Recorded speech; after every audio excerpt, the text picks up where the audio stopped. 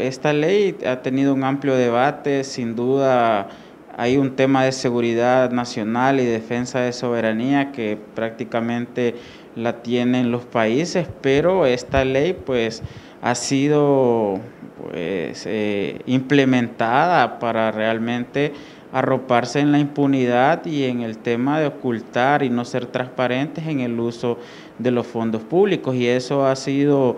eh, señalado hasta por organismos internacionales que prácticamente han pedido la derogación parcial de esta ley. Como he mencionado, no es algo de justificación, sin duda el tema de soberanía debe tener ciertas reservas, pero eh, el caso es que en Honduras se hacen este tipo de normativas para ocultar la mayoría de actos y que estos actos sin duda llevan indicios de corrupción licenciado, de cuánto presupuesto se puede gastar o se canaliza a través de esta ley y que pues el pueblo hondureño no se sabe en qué se gasta este dinero? Bueno, si logramos sumar aproximadamente las 14 instancias que están dentro de la ley y luego que hay por ejemplo, instituciones como la ENE, que maneja miles de millones, es sin duda un tema muy difícil de aproximar, pero con todo lo que se ha hablado con la creación, por ejemplo, del SINOC, eh, que es un ente regional, el mismo FOSDE que ha intentado con el CNA hacer aproximaciones del impacto de la corrupción, estamos hablando que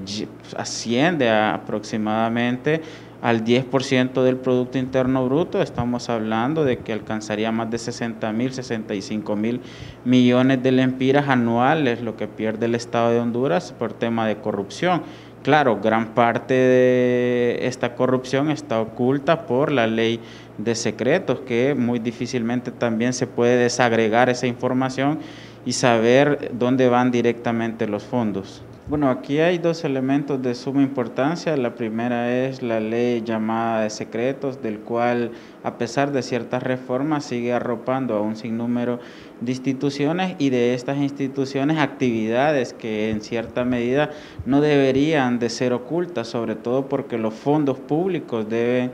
prácticamente de eh, visualizarse para la ciudadanía, del cual con nuestros impuestos son los que prácticamente están realizando ciertas compras y adquisiciones. Y luego, eh, en el tema de la tasa de seguridad, que es arropada a través de esta ley, el mismo fideicomiso también de la tasa de seguridad es muy difícil el acceso. Más de 18 mil millones de lempiras se ha recaudado hasta la fecha de esta tasa de seguridad desde el 2012, que fue su creación, y prácticamente el 71% aproximadamente ha sido transferido a la Secretaría de Seguridad y a la Secretaría de Defensa. Luego el resto pues ha ido al Ministerio Público, a las alcaldías y a otras instancias. Pero en concreto, eh, las compras y adquisiciones que, debería, que hacen estas instancias debería de ser público y luego pues eh, saber la eficiencia y la efectividad